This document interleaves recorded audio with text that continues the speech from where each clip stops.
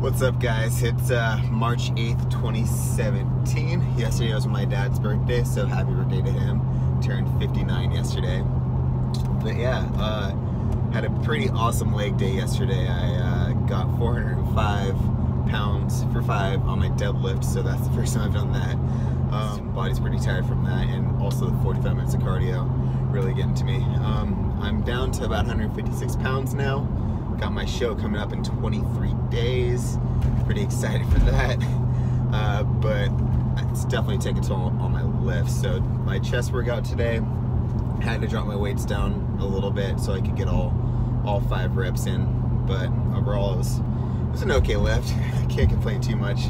Heading home from the gym now, got to go to work. Then right after work, gonna go back to the gym and get my 45 minutes of cardio in. So I hope you guys have a good day. Enjoy.